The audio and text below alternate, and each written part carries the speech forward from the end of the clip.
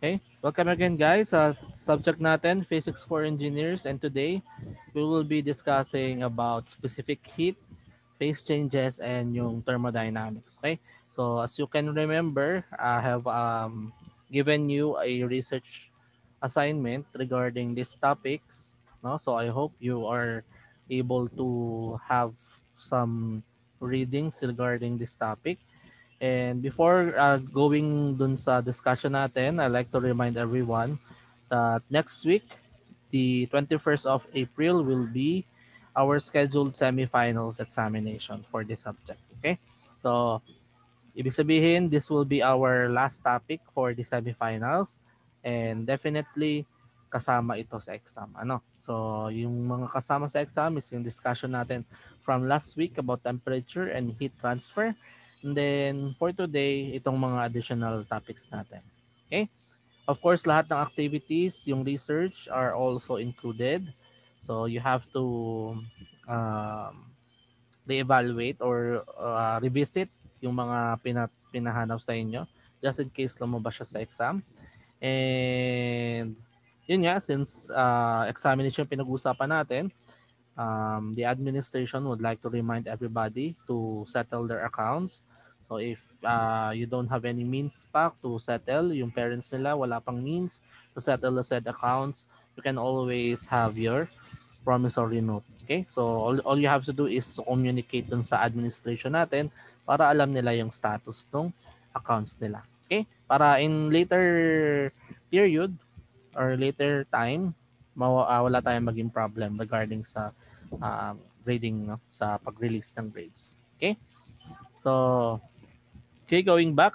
So this will be our last, um, again, last uh, discussion for the semifinals. So at the end of this lecture, hopefully these are the things that you will be able to um, have or to take takeaways nyo, no, for this lecture. First one is yung explain yung concept ng specific heat and heat capacity. Right? So to demonstrate sa inyo kung ano yung difference ng dalawa. Okay? Next is yung to relate yung temperature, heat, and heat capacity with each other. So we will be um, applying certain formula no, to relate yung mga pinag-aralan natin from last week then for this uh, time. Okay. Number three, to discuss yung different phase changes natin ng matter natin o ng substance natin. So, paano siya nati-change from one phase to another. Then, to explain yung latent heat and latent heat diagram. So later, uh, we will be um, expounding kung ang ibig sabihin yung latent heat na yan. Okay? Then, uh, hindi ko lang nalagay pero um, as mentioned, uh, we will be also tackling about thermodynamics. But for you, for our um, top uh, subject ngayon na physics, uh, more on descriptive or definition lang yung dun sa thermodynamics part natin. No? Kasi I believe yung kung mechanical engineering or civil engineering major kayo, um, you will still have a subject regarding basic mechanical engineering, yung para sa civil, uh, which will uh, discuss in depth nung thermodynamics. And then sa mechanical engineering na courses, you will have um, thermo 1 and thermo 2 in your higher year. No? Okay? So, kaya yung sa atin, mas mag-focus tayo ay dun sa topic natin na specific heat and heat capacity. Then for the thermodynamics part, we will just discuss the different laws um, and processes na nag-occur sa thermodynamics. Okay? So, okay, let's start. So, to start, uh, we have to recall yung na-discuss natin last week. So, yung last week, diniscuss natin yung uh, other half is about yung forms of heat transfer. Okay? So we've discussed that through dif, uh, through these forms, um, natatransfer yung heat from one body to another. Okay? So again, yung main differences niya are as described dito sa slide natin. So yung una, nagtatawag natin conduction or um, sinasabi natin na nagkakameron ng transfer heat kapag merong physical contact with two or more bodies, no? Kapag nagkameron sila ng contact. So kailangan ma-achieve niya yung condition na yon na kailangan si uh, mas malaki yung temperature na body, magkameron siya ng contact with the um, lower temperature na body para si higher temperature body will give off or share yung yung heat niya, yung energy niya to the um, other body para magkameron sila ng equilibrium. Okay? So as long as meron uh, difference or may mas mataas na temperature sa kanya, laging magkakameron ng heat transfer. So ang goal lagi ng body natin is to equilibrate o magkameron ng equal distribution ng energy, ng heat for this uh, in particular para mat, uh, maging balance siya. Okay? And then yung other type natin, tatawag natin convection o yung heat transfer natin through fluids, no? Again, when we say about fluids, it contains or um, pertains to liquid, gas, or air. Okay? So, sa convection, through flow ng fluid from one place to another yung nangyayari. So, uh, main example natin last time is yung water natin being heated inside a pot. So, ang conduction natin doon is yung flame tsaka yung pot natin kasi nagkameron sila ng physical contact. Yung mismong flame natin nagka-contact dun sa ilalim ng pot natin. After some time, tinransfer ni heat o ni flame yung heat energy niya kay pot. Okay? Ngayon si pot, meron siyang, nung sinalang natin siya, meron siyang water na nasa um, isang temperature lang. Halimbawa, cold temperature yung water. Once na na-expose na siya dun sa uh, habang yung half or yung other parts ng water are uh, directly in physical contact with the pot, nangyayari dun sa molecular level nung nasa ilalim, nagiging mas denser yung um, yung density natin, no? Nagiging nagiging nag-expand yung density natin. So what happens is kapag mas less dense na yung uh, mas less dense na yung water natin, pupunta siya sa taas, then yung cold water natin pupunta sa ilalim, which will start a cycle hanggang masatisfy yung equilibrium ng uh, temperature natin. So as long as merong presence ng heat, and then for a long period of time, magko-continue yung process hanggang um, yun, mag, mag magkakameron ng continuous uh, transfer of heat hanggang um, mas maging equal na yung heat ng dalawa. Okay? Then last is yung radiation. So, ito naman yung tinatawag natin na kahit walang physical contact, walang uh, flow ng fluid, um, lagi siyang present. No? So, in every object or every substance, present siya. Na tina-transfer niya yung energy or yung heat, trans, yung heat through um, electromagnetic waves. Okay? So, pinaka magandang example pa nito is halimbawa we, you are um, sitting in front of a bonfire or around a bonfire. Uh, di ba alam natin si bonfire is um, nagka-create tayo ng, ng flame, no? Si flame, kahit di mo naman inawakan first hand, pag um, tinutok mo yung, yung palad mo dun sa harap ng flame, nararamdaman mo yung heat sa palad mo. Okay? So, naramdaman mo yung heat na yon without any contact or uh, first-hand contact doon sa flame kasi gawa ng electromagnetic waves na nag-travel. Okay? So, yun yung sa radiation. Okay? So, dapat malinaw sa inyo yung difference nitong tatlong to. Okay? And then, now we will now proceed dun sa um, another connected topic sa kanya. So, yung una is yung specific heat. Okay? So, picture nyo yung scenario na to. So, nasa, nasa beach tayo. Then, yan, nakaharap tayo sa ocean. Okay? Nakikita natin, meron tayong sand, tapos meron tayong a, a large area ng sand, no? Ah, ng, ng sea. Anong mapapansin nyo? Di ba, parehas silang uh, exposed sa sun. Okay? Directly exposed sila sa sun. So, definitely, mas uh, parehas lang yung natatanggap na energy ni sea tsaka ni ni sand. Okay? Pero bakit ang nangyayari mas mainit si sand kumpara mo dun sa sea? Okay? Yung reason daw doon is dahil sa specific heat. Okay? Dahil masyadong malaki yung yung yung volume ng water o ng sea, mas uh, kailangan ng mas malaking um, set ng heat energy para ma maramdaman yung change in temperature niya. Unlike dun sa sun natin, since uh, uh, mas yung yung molecular structure niya is um, mas madali siyang maapektuhan ng heat, no? Kaya ma mararanasan natin na pag umapak tayo dun sa sun, mainit, then uh, kapag nandun na tayo sa shoreline, mas lumapat na sa atin yung water ng sea, malamig siya. Okay? Yun yung main reason daw kung bakit uh, ganun yung case niya is dahil dun sa tatawag natin specific heat. So ano daw ba yung specific heat? Bigyan natin ng formal definition. So si specific heat daw is uh, wait lang, naglag yung screen. Okay. Um, um, may I know kung ano na yung naka-project sa kanila. Ayan. Okay? So, yan. So, si specific heat. So, sabi sa definition, si specific heat daw is the amount of energy required to raise the temperature of 1 kilogram of substance by 1 Kelvin. Okay? So, ibig sabihin si specific heat daw is yung energy na kailangan ng isang substance para mag-increase yung temperature niya. Depending pa dun sa mass niya. Okay?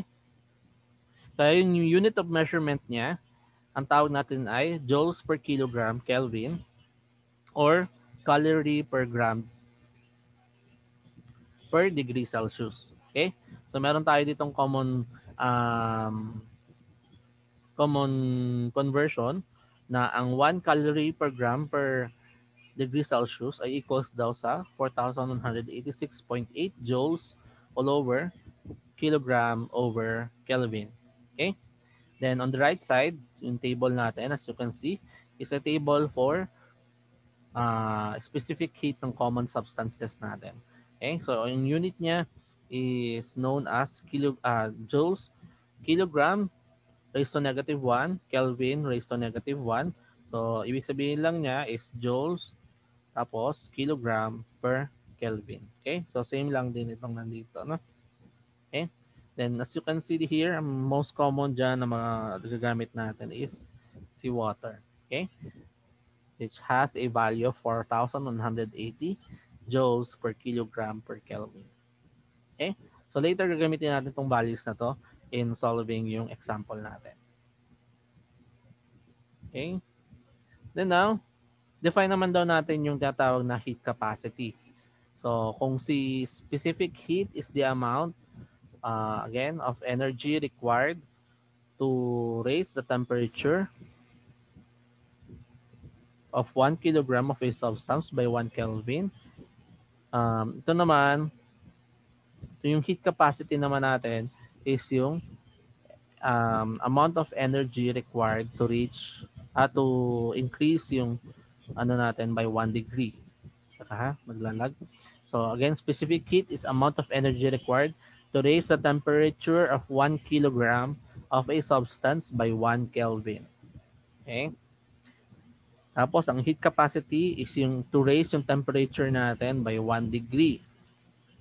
Yun naman yung tawag sa heat capacity. So, in terms ng temperature tong heat capacity. And it is um, uh, can be calculated using the product of the mass of the substance and its specific heat.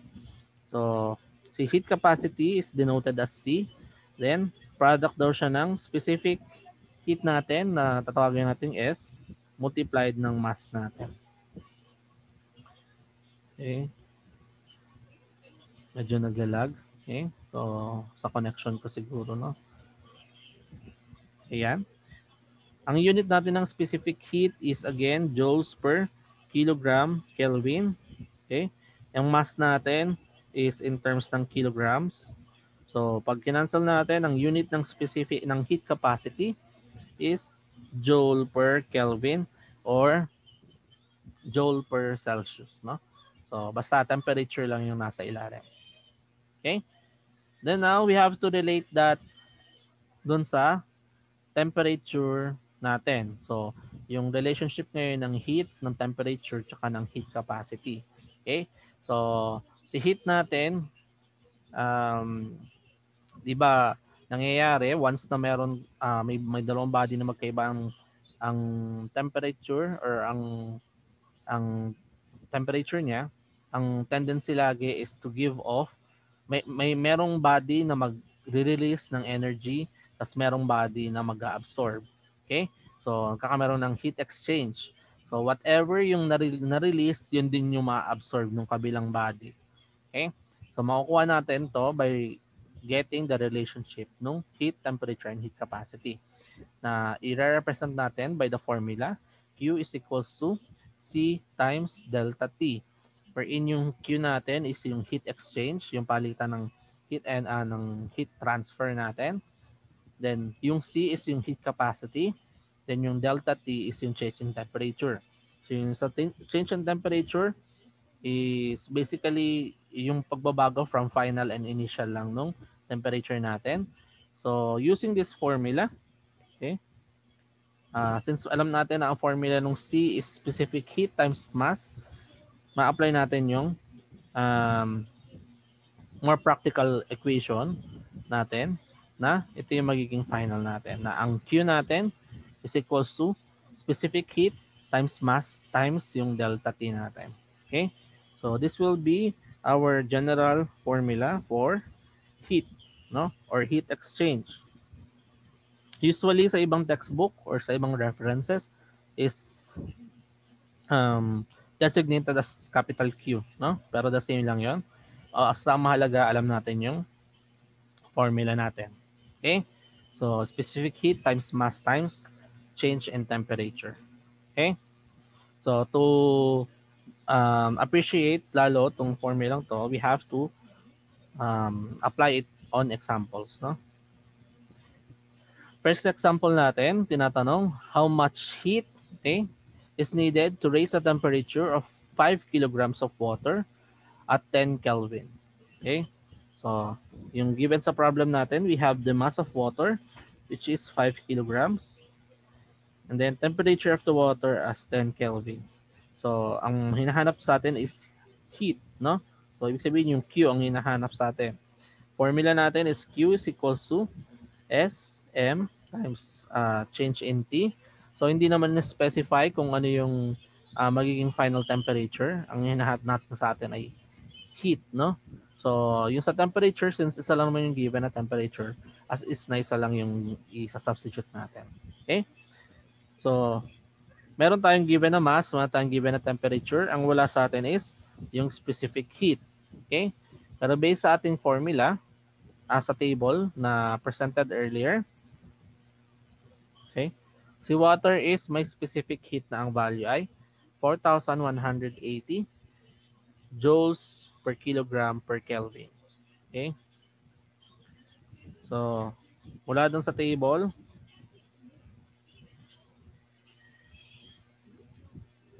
okay, specific heat daw is for 180 um, joule per kilogram Kelvin. Okay? So we can now apply directly yung um, solution na, yung equation natin. SM delta T. So this will be 4180 joules per kilogram Kelvin multiplied by yung mass natin which is 5 kilograms. In temperature, uh, 10 Kelvin. Okay? So cancel out natin yung Kelvin and kilograms na unit. Yung Q natin will be equal sa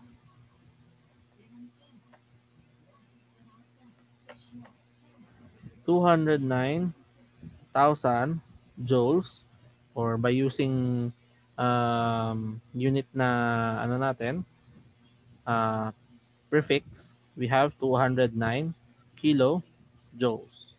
Okay? So this will be our um, value ng heat na required no? Okay? Questions uh, example number one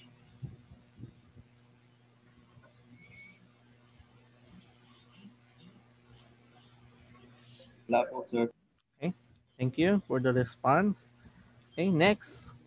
What is the temperature of a mixture if 0.4 kilograms of water at 85 degrees Celsius is added to 0.3 kilogram of water at 15 degrees Celsius in a polys polystyrene cup? Okay. So, analyze natin yung scenario. So we have two um, sets of water na magkaiba yung temperature. Yung first given nating water, anong condition ng water na yan? Compare dun sa isa. Dun sa isa pang given. Tingin niya. Anong klaseng tubig? Yung first given. So, ito yung first given natin, no? So, pwedeng sabihin kong M1 natin, 0.4 kilograms, no? And then, yung temperature natin is 85 degrees Celsius. Ano yung 85 degrees Celsius sa tingin nyo? Mataas? Mababa? Hot Okay. water. So, 85 degrees Celsius is indeed a hot water, no? Um, pero hindi siya boiling water kasi again, ang boiling point natin for Celsius is 100 degrees Celsius. Okay? So, pero nasa almost ano na siya, no?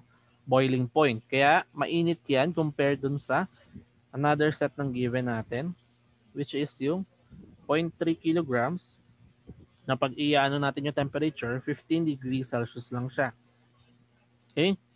Which is, um, kung halimbawa titingin tayo sa thermostat ng aircon, hanggang 16 degrees lang yung sa aircon na pinakamalamig, no? So, mas malamig siya dun sa lamig na kayang ibigay ng aircon. So, 15 degrees. So, kung i-compare, mas malamig tong um, second given nating water dun sa compare dun sa una, no? So, pwedeng tawagan natin tong hot water to. Okay? Then cold water to. Okay? So, T1, T2. Okay? Then, ano yung scenario natin? Ang gagawin daw is imimix natin sa isang cup yung dalawang water, no? I kakameron tayo ng mixture. Ang hinahanap sa atin is ano yung temperature? Ano yung magiging temperature ng mixture kapag pinaghalo natin siya? Okay? So, halimbawa meron tayong cup ng meron tayong cup, no?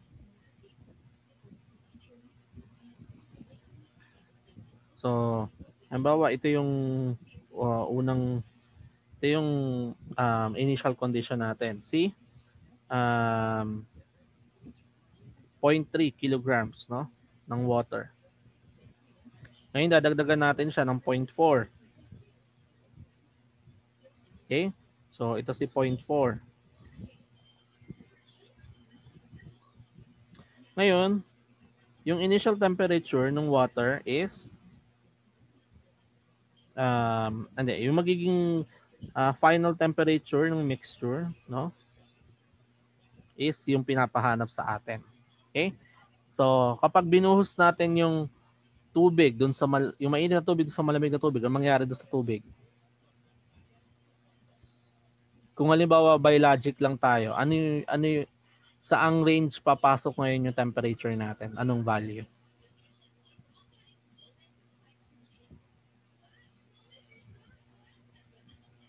Sipin nyo ha, di ba?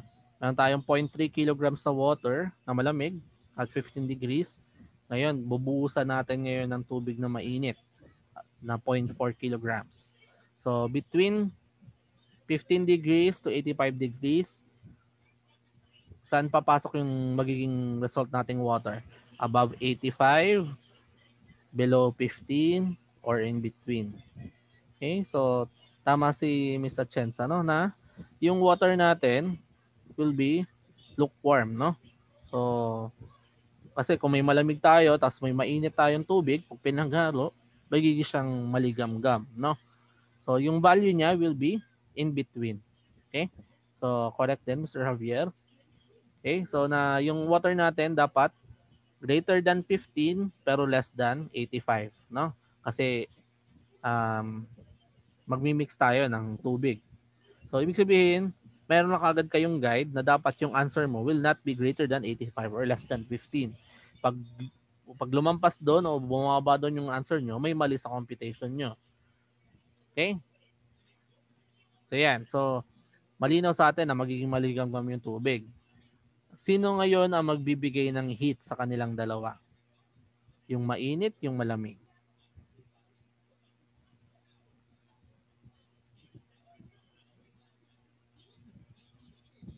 Hello? Okay, si um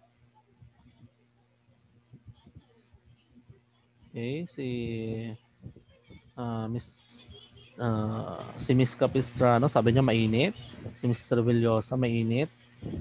Okay, si Miss Ascenso, mainit din. Okay, so ang magi-give off ay yung mas mainit na temperature. Okay, so hindi dahil mas madami siya, okay, pero dahil sabi nga natin doon sa concept natin last time, kung sino yung mas mataas ang temperature, siya lagi yung nagre-release ng energy. Okay? So, no matter kung gaano kadami yung volume niya, lagi yung mag, magre-release ng energy is yung mas mataas ang temperature. Okay? So, from, sabihin, malino tayo na si hot water yung magre-release, no?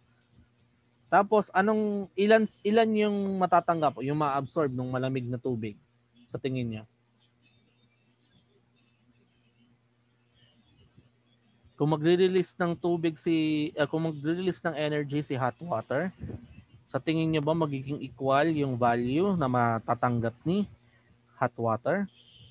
Yung ma-absorb niyang energy? Is it equal?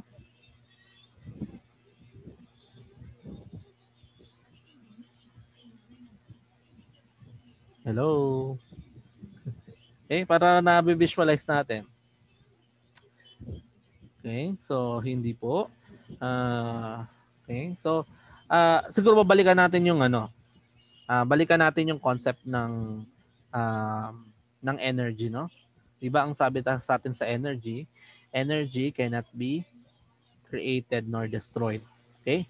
So, ibig sabihin kung nag-release ng energies ng certain amount si hot water, dapat yung lahat ng nirelease niya ma-absorb completely ni cold water. So, ibig sabihin, kung ilan yung amount release, yun yung re- amount na ma-absorb. Okay? No less, no more. The same siya. Okay? So, pwede natin sabihin na yung heat na i-release, no, will be equals dun sa heat na ma-absorb. Okay?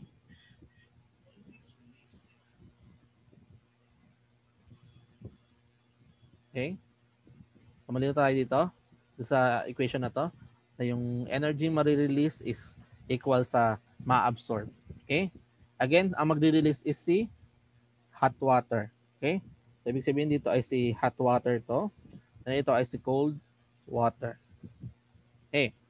Then applying yung formula ni Q. Okay? Q natin is S M delta T. Okay? So, specific heat ng water times yung mass ng hot water times yung change in temperature niya. Okay? As dito, same namang water yung mixture natin, yung yung substance natin. Tapos mat, mass nung cold, tapos change in temperature. Okay? Si specific heat, pwede na natin cancel out sa equation. No? Kasi same lang siya.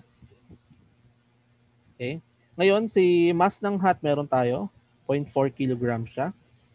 Okay? Yung change in temperature, ano yung magiging value natin? So, itong temperature of the mixture, pwede natin tawagin T-mix, no? Ano ba tawagin natin siyang T-mix? So, para makuha natin yung change in temperature, edi from 85, no? Tapos alam natin na dapat mas mababa siya doon sa 85. Kaya ito yung ano niya. Okay? Then kay cold water, yung mass natin is 0.3 kilograms. And then yung magiging value natin dito is T-mix naman tayo minus 15 okay, degrees Celsius. Okay? Kasi si T-mix will be in between, no? Less than 85 and greater than 15 siya. Okay? Kaya ganyan yung ganyan yung notation natin. Malinaw tayo doon? Okay? So, may question kaya before we proceed? Tapos, sir. Okay? So ngayon i-ano lang natin. I-simplify lang natin. This will be distribute natin 34 kilograms degree Celsius minus 0.4 kilograms T-mix is equals to 0.3 kilogram T-mix minus 4.5 degrees Celsius kilogram. Okay? Then combine natin yung same um, yung same unit. Okay? So this will be uh, paliitin ko lang na to.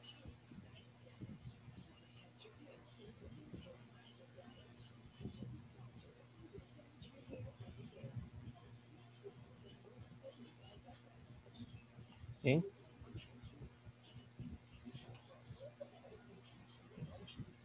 So this will be uh, 34 kilograms degree Celsius plus 4.5 kilogram degree Celsius equals 0.3 kilogram ng T-mix natin plus 0.4 kilograms ng T-mix natin. Okay, so we have 38.5 um, kilograms degree Celsius, 0.7 kilograms T-mix. Okay, and para makuha si T-mix, divide lang natin both sides by 0.7 kilograms. Cancelled out. Cancel yung kilograms. So, matitirang value natin is yung Celsius. So, 38.5 divided by 0.7, we have 55 degrees Celsius. Okay? So, ibig sabihin, upon, upon combining yung hot and cold water natin at the given temperature, yung magiging temperature ng mixture is 55 degrees Celsius. Okay? Question dito sa number 2. Clarification kaya?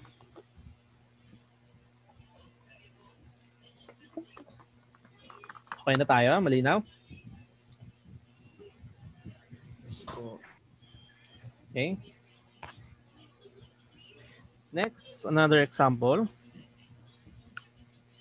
Yung pinakamagandang application nung sa uh, pagsosolve ng specific heat is uh, yung, okay, may tanong.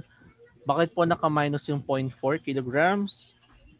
Uh, 4, 4, 0.4, 0.4. Nasaan? Ah, ito. Ito is naka-minus kasi ito pag uh, dinistribute natin dito, naka-minus yung T-mix natin dito. Okay?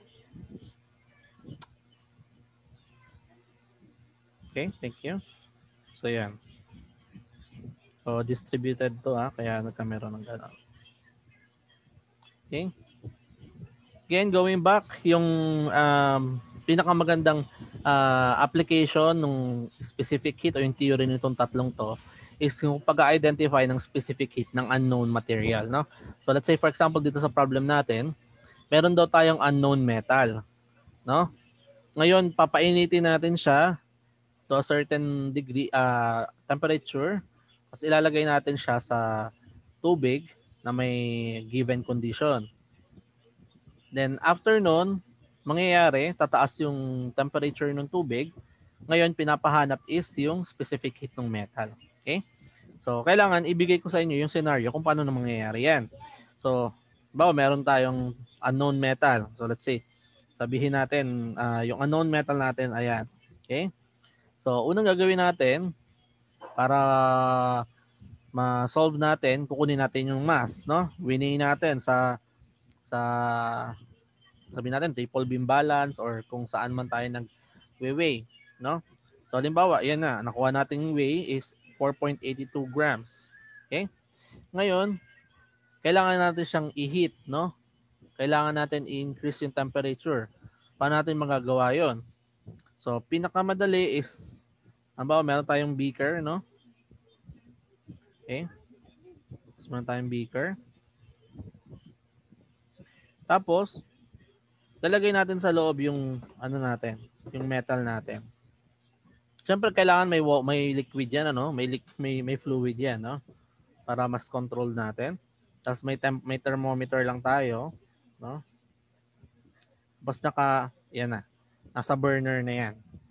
Okay? So hanggang mag-reach to ng ang temperature natin ay 115 degrees Celsius. Okay? Yan yung gusto natin mangyari. Ngayon, meron naman daw tayong uh, 35 ml of water. Let's say meron tayong cup dito, no? Or bucket, kung kung depende kung gaano siya kalaki. Okay? Ito yung bucket of water natin. Given, meron siyang mass na 35 ml or volume na 35 ml. Tapos ang current temperature niya ay 28 28.7 degrees Celsius. Okay? Ang mangyayari, 'di ba? Itong metal natin ngayon na-reach na niya yung 115. Kukunin natin ngayon siya gamit ang tong doon sa beaker. Okay?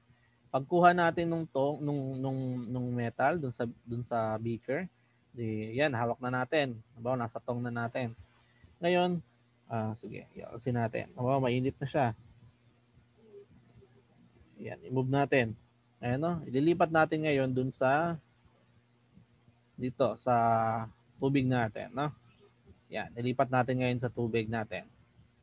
Ngayon, nung nilipat natin sa tubig natin, yung mismong metal natin, anong nangyari daw dun sa tubig is nag-change siya ng temperature.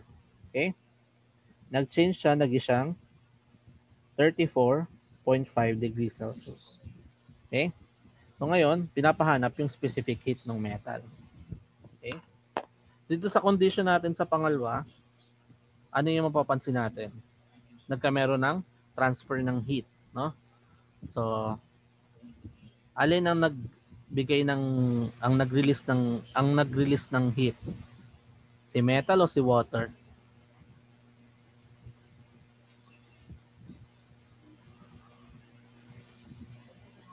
Okay? So, hopefully sana lahat metal lang sagot, no?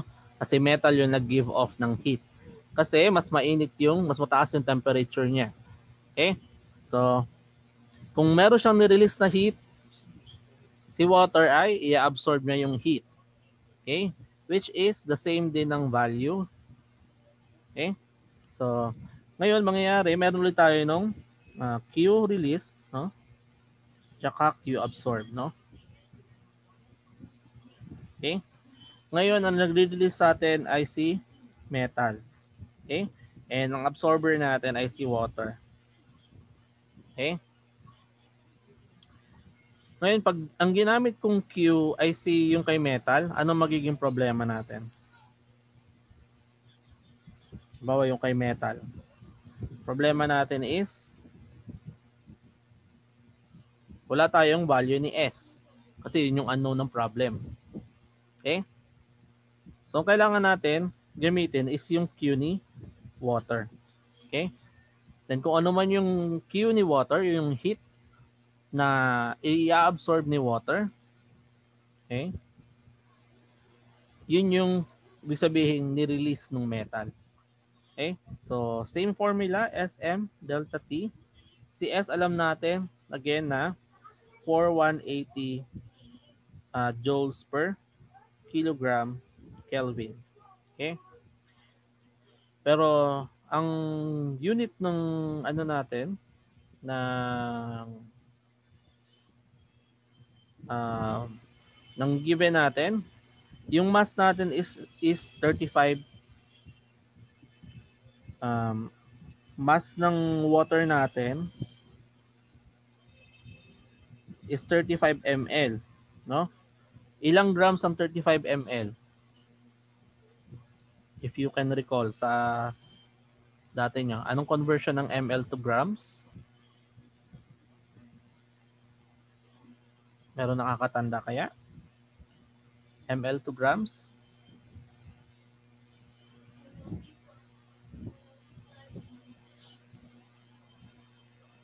Okay, so uh, Tama no? Tama Mr. Degancia and uh, Miss Capistrano and Miss Atienza no? Same lang no? 1 ml is equals equals to 1 grams. Okay? Mr. Herman and Mr. Villosa. Okay? Ibig sabihin yung 35 ml is also 35 grams. Okay? Sabihin conversion natin 1 ml is equals to 1 grams. Okay? So, yun yung mass natin dito. So, we have 35 grams. Okay? Then yung change ng temperature natin, nung sa water, ang nangyari ay 34.5 siya nung una, ah, nung, nung final, tapos yung initial niya ay 28.7. Okay? Pero kailangan natin iparehas yung unit. Joule per kilogram, Kelvin yung unit natin ng specific heat. Balikan natin yung slide kanina. Okay, saan na yun? Okay, ito. Meron tayong conversion na 4186.8 joules kilogram per Kelvin is equals to 1 calorie gram degree Celsius. Okay? So, gamitin natin yung formula yan. So, convert natin yung given natin na 4186.8 joule per kilogram Kelvin times ng 1 calorie per gram Celsius. Okay? So, ito will cancel out. Yung gram natin will cancel out. Then yung Celsius natin will cancel out. Okay? So, yung heat na answer natin, ano magiging unit? Matitira sa atin ay calorie. Okay? In calorie yung unit natin. Okay? So, solve natin. 4180 times 35 times difference nung 34.5 tsaka 28.7 then divided by 4186.8 okay? So we have 202.67 calorie. Okay? And then we have to get yung relationship ng calorie with joules. Okay so anong relationship ng dalawa 1 calorie is equals to 4184 joules. Okay? So, pag minultiply natin, 1 cal, 4184 joules. Okay? So, we have 800 at uh, 47 972.52 joules or yung value natin will be 847.97 kilojoules. Ito yung um, water absorb natin. Okay? Yung yung heat absorb natin. Okay? So, kung meron na tayong value ng heat absorb, pwede natin ngayon ma um, heat absorb no? Equals natin sa 847.97 kilojoules. Equals yan dun sa na-release ng metal. Okay? So yung Q ng metal equals S times M times delta T. So Q, Q ng metal natin is 847.97 kilojoule equals to S, yung unknown natin. Then yung mass natin ng metal is 4.82 grams. And then, yung temperature natin is from 115 degrees Celsius, nagi siyang 34.5 degrees Celsius. Okay? So, uh, solve natin. S will be equals to so 847.97 divide 4.82 times yung difference ng 115 tsaka 34.5 we have 2.185 kilojoule. Ang unit natin is gram degree Celsius. Okay? So kung ito yung nasa choices na unit pwede nang sagot to. Pero yung sa specific heat table natin kanina, ang unit niya is joule, kilogram, Kelvin. Di ba? So, iparehas lang natin. Okay. Delay pa din ba? Wala pa naman akong sinusulat pa ulit. okay. So, kita na ba yung value ng S na 2.185? Kita na po. Yes, may, may. Thank you. Uh, so, i-gawin natin ngayong joules per kilogram per Kelvin. Okay? So, yung conversion natin kanina, is ito, no? So, gawin natin. So, dapat maging calorie muna tong ano natin. Okay? So, multiply natin to ng 1 kilojoule, 1,000 joule. And then, gagawin natin calorie.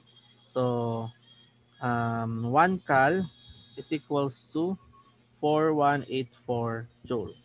Okay? So, yung magiging answer natin ngayon dito will be in calorie gram degree Celsius. Okay? Cancel to. Can, uh, cancel yung joule. Okay? Yung calorie hindi. Okay? So 2.185 times 1,000 divide 4184 we have point 0.522 calorie gram per Celsius. Okay? Then, i-convert natin So 0.522 calorie gram degree Celsius yung conversion natin kanina. Okay, ito. So dapat nasa ilalim siya ngayon. Yung 1 cal gram Celsius natin 4184 uh, 4186.8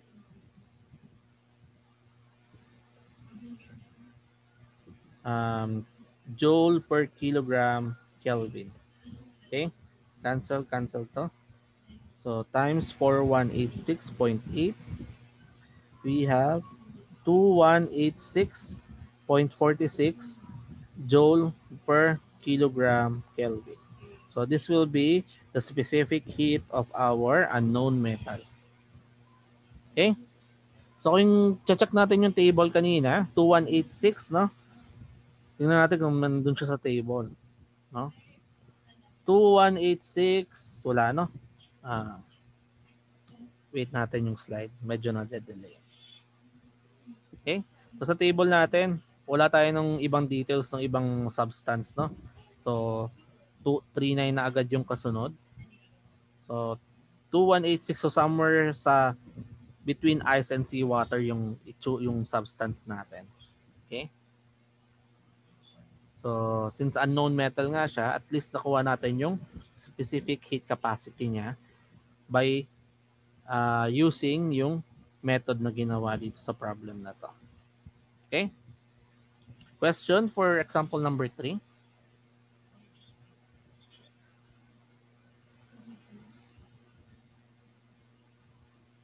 Hello? Okay.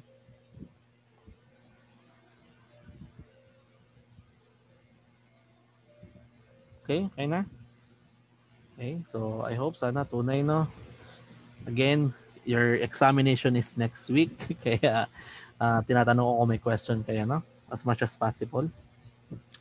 Okay, next. Yan. Punta tayo ngayon doon sa phase changes natin. Okay? Okay. I-discuss lang natin yung phase changes natin. So, yung common uh, basic um, uh, types of matter natin, di ba? Is yung solid, gas, and liquid. Okay? So, may other terms kung yung pag-change ng ano niya, ng form niya. From solid to liquid, liquid to gas, and gas to solid. Okay? So, waiting lang yan. So, ang tawag daw kapag yung from solid state natin, pupunta sa liquid, is melting. Okay? So, in other textbook, ang tawag sa kanya is fusion, no? Okay? So, tawag sa kanya is fusion. So, pag nakita niyong fusion yung term, ibig niya sabihin is nagme-melt yung ano natin, solid uh, substance natin into liquid. Okay? Then, kapag freezing naman daw, is kapag from uh, baliktad na process, from liquid to solid. So, other term for freezing is solidification. Okay.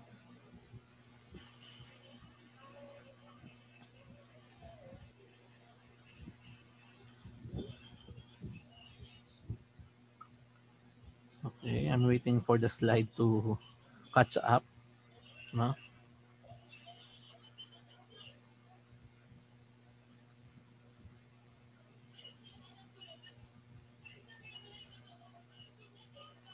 Um, okay. Ah, stop share ko nga lang muna. Ibalik.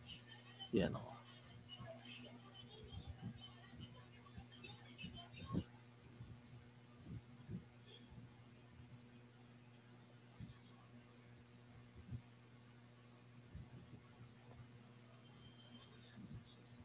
Okay? So, yun yung sa solid to liquid. Paano naman pag liquid to gas? So, kapag liquid to gas, so mangyayari, um, di ba usually uh, nangyayari sa kanya is through presence ng heat, no? Bawa i-boil natin yung water, ang bawa liquid yung water. Um, kapag nag uh, nagbo-boil, nasa boiling point na siya, nag-change siya sa steam, no? Nagiging steam na siya, so ibig sabihin gas na siya. Yung tawag sa kanya is evaporation or vaporation lang. Okay?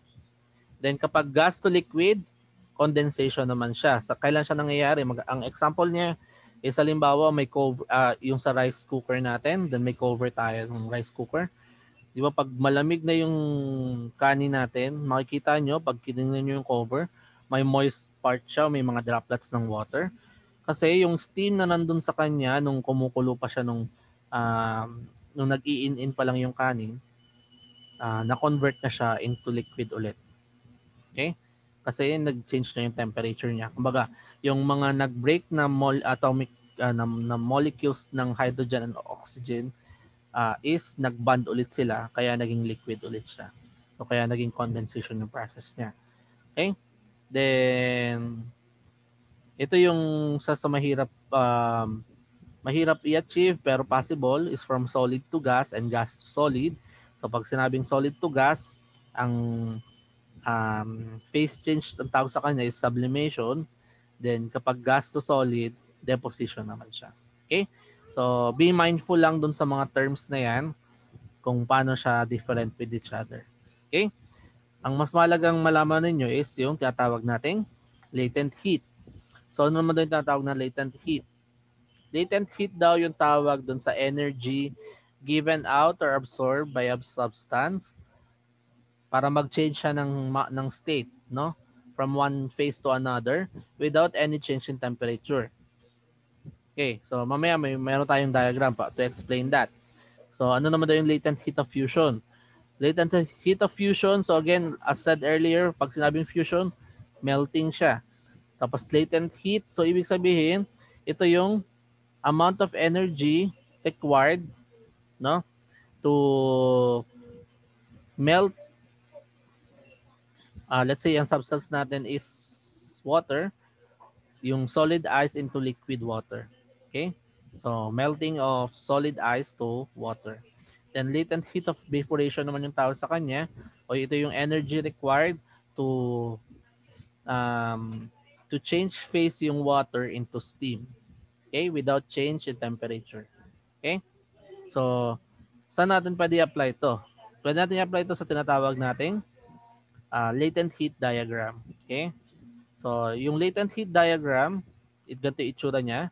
So, yung x-axis natin is yung pertaining dun sa heat na present or ina-add nating heat. Then yung y-axis natin is yung temperature natin. Okay? Tapos, um, ito is latent heat siya ng water. So, process to nung sa water, no? Um, let's say meron tayong given example. Meron tayong cube of ice, no? So, kung solid ice siya, saan, mga ilan dapat yung, ano niya, temperature niya, kung ice siya. Kung ang, ang, ang substance natin ay ice. Anong value kaya dapat nung, ano natin, nung temperature natin kung ice ang pinag-uusapan natin. Ano ba ang freezing point ng water? Okay? Mag-start siya mag-freeze sa 0 degrees, no? So, 0 degree po. Pwede pwedeng yung ano natin, yung ice natin is less than 0 degrees, no?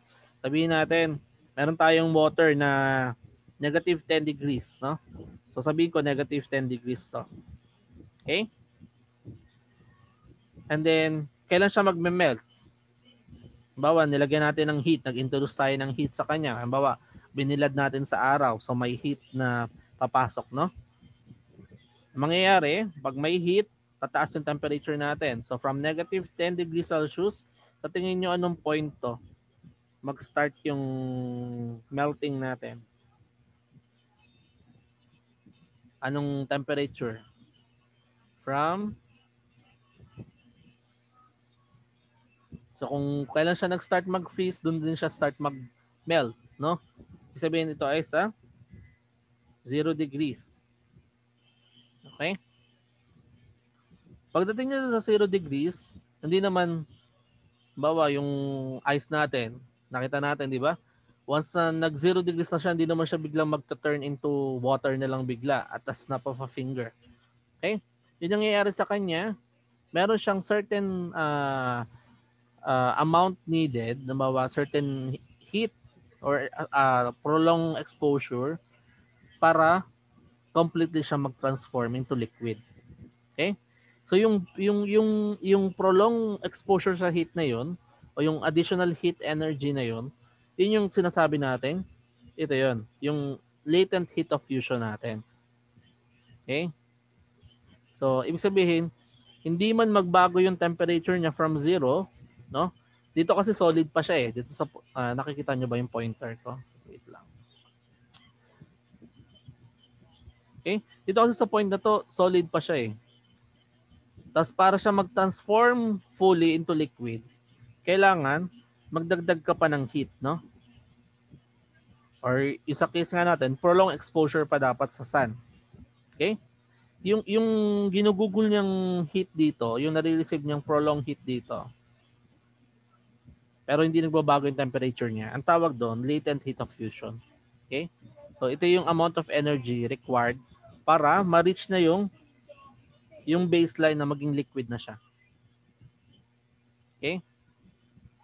So, once nandito na siya sa point na to, dito sa boundary na to, additional heat na matanggap niya, magiging na siyang liquid. Okay? So, ibig sabihin, hanggang saan, anong, hanggang anong temperature para masabi natin uh, ma-achieve na niya yung ano, optimum liquid state niya. Anong temperature kaya?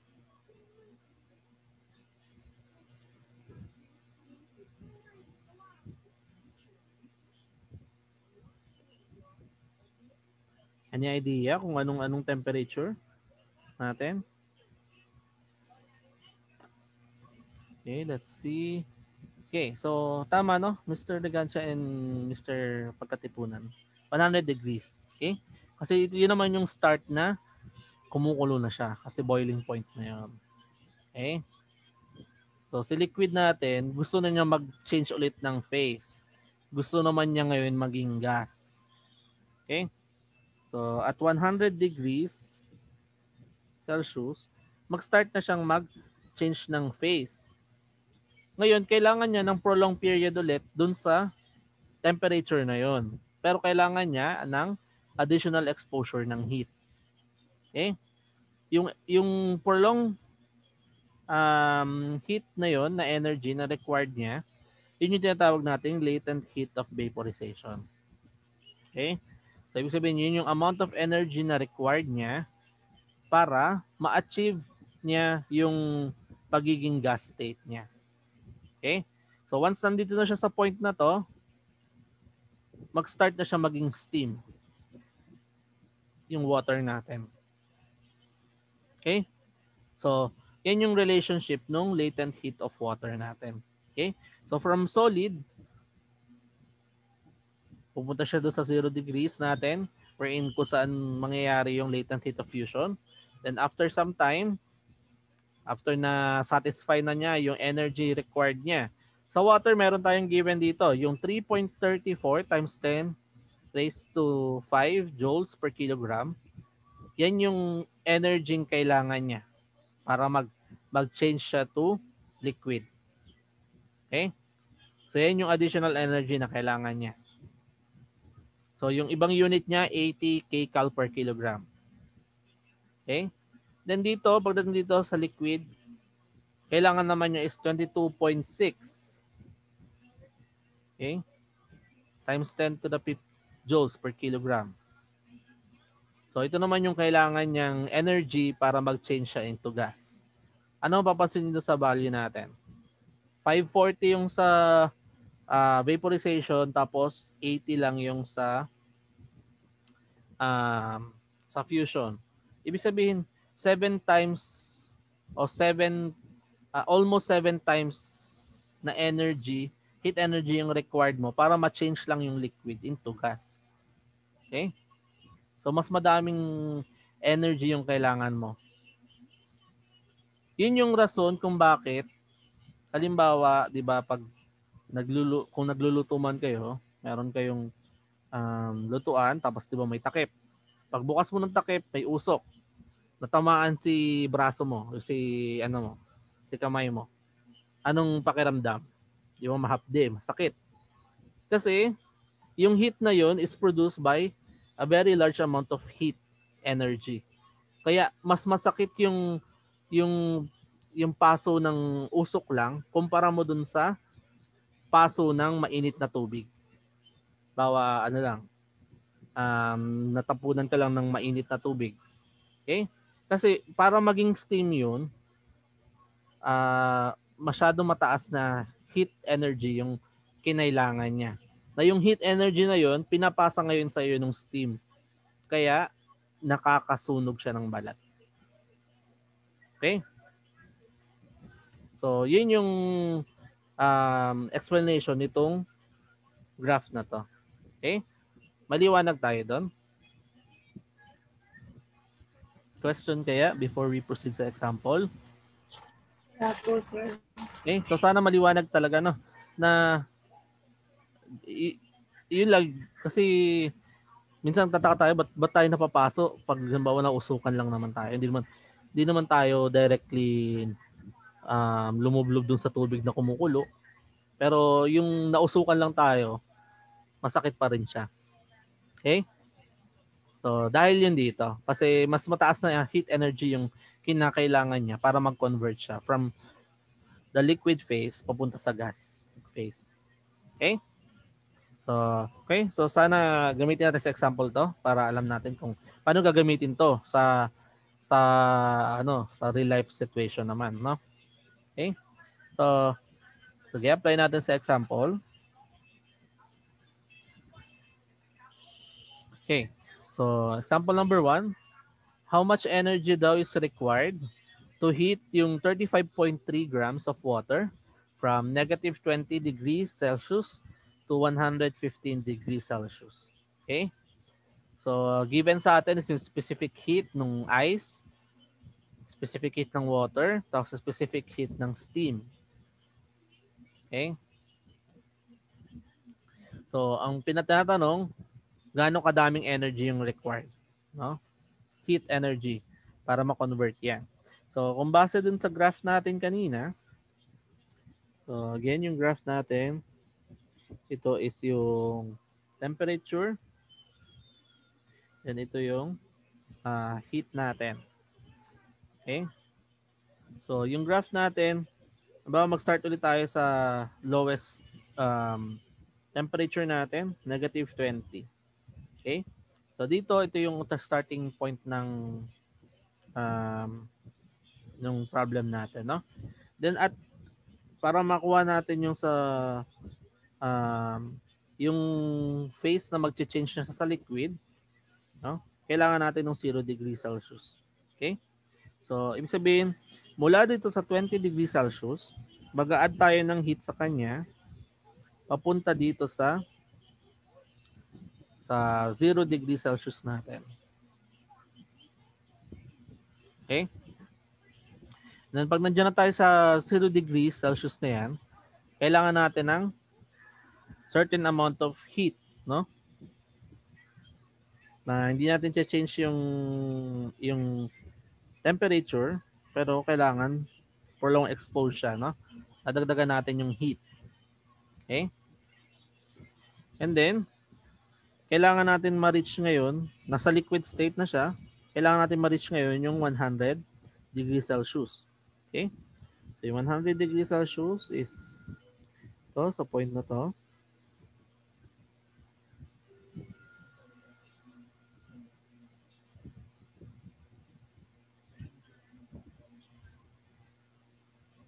Okay, waiting for the diagram.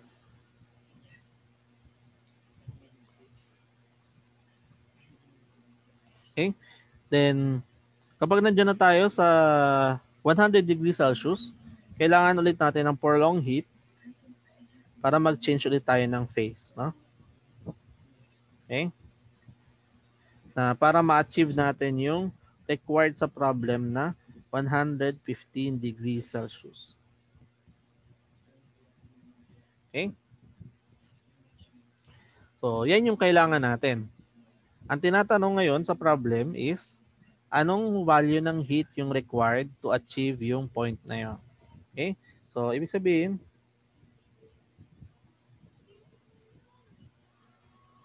um, extend lang natin to.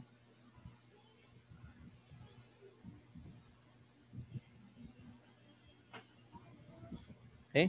So, anong value ng uh, total uh, heat yung kailangan natin doon sa point na yon para ma-achieve natin yung 115 degrees Celsius. Okay? So, ibig sabihin, dito sa first ano point natin, kailangan natin yung um, energy yung energy para mapunta tayo dun sa point 1. Then kailangan natin yung energy para mapunta dun sa point 2. Okay? Then energy papunta doon sa point 3.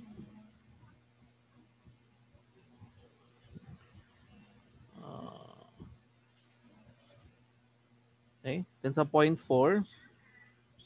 And then sa point 5.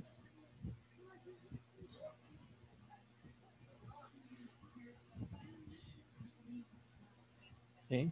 So, ibig sabihin yan, pag pinroject natin, Okay?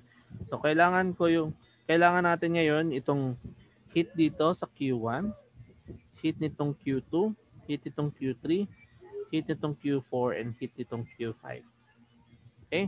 So ang kailangan natin is yung Q total which is equals to Q1 plus Q2 plus Q3 plus Q4 and Q5. Okay? So, yan yung kakalculate natin. Ngayon, Q1 muna tayo. Si Q1 o yung heat 1 natin can be calculated using yung formula natin na ginagamit na SM delta T. Okay?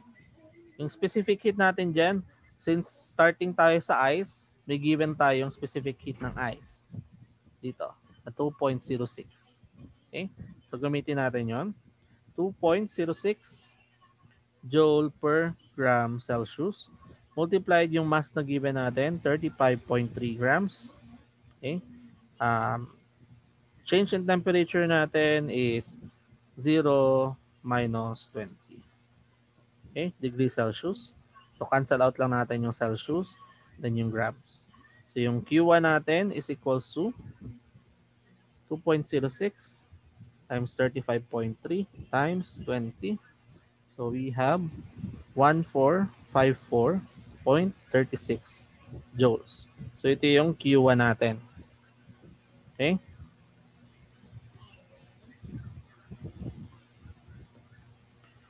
So, next is yung Q2 natin.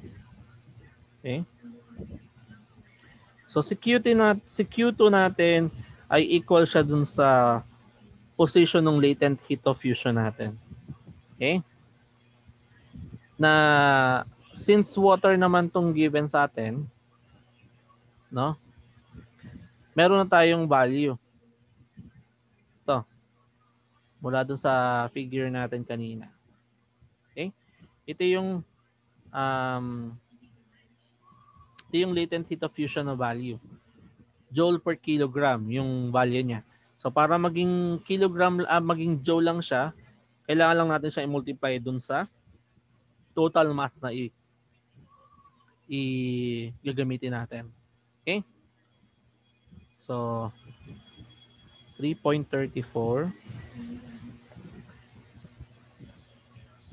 times 10 to the fifth joule per uh, ano nga yung unit niya kanina? Kilogram. Okay? Pero yung unit natin is in uh, gram. Okay? So, divide lang natin ng 1 kilogram over 1,000 gram. Okay? So, this will be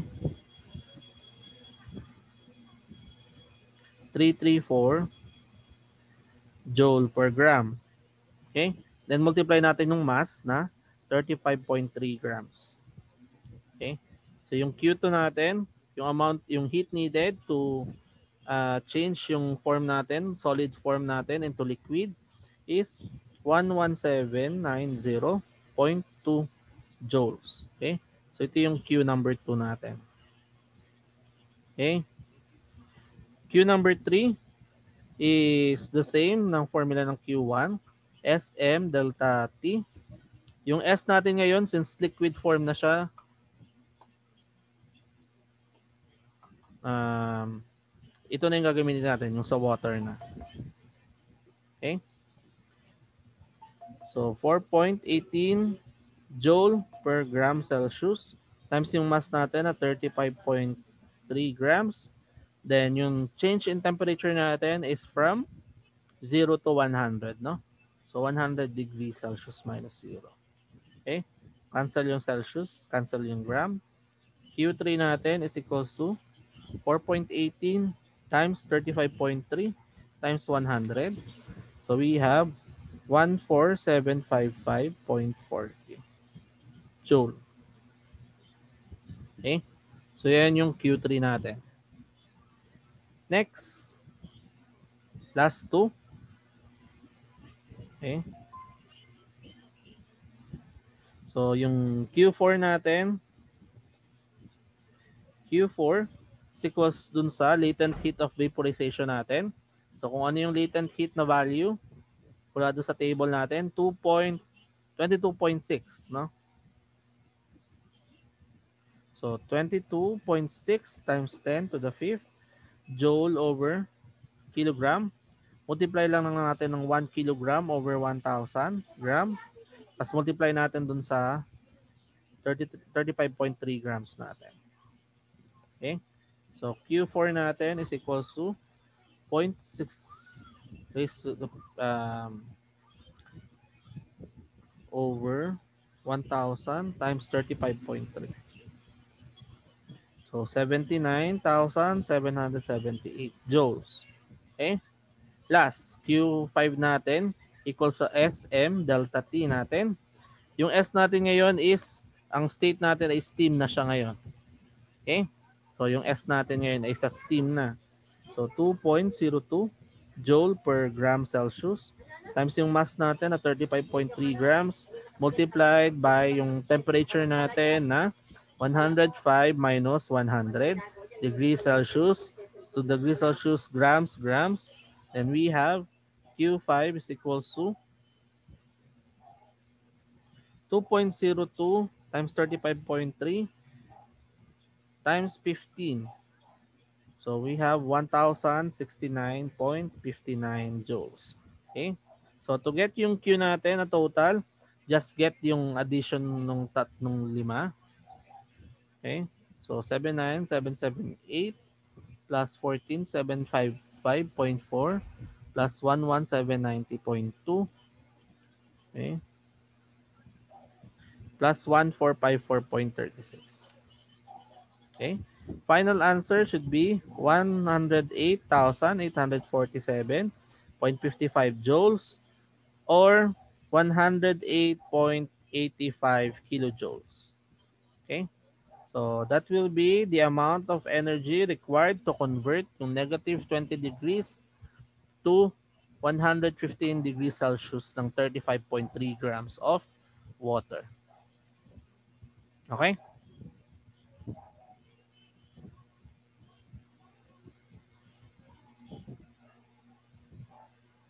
Question?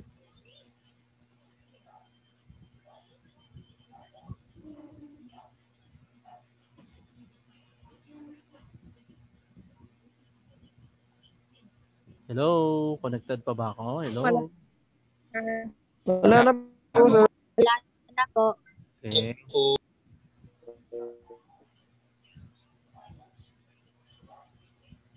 Q2.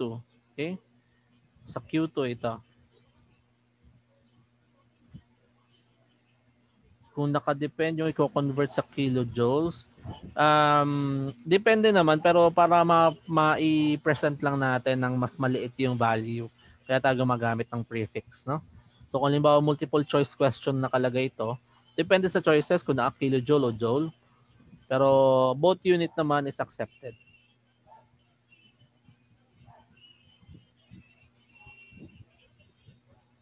Okay.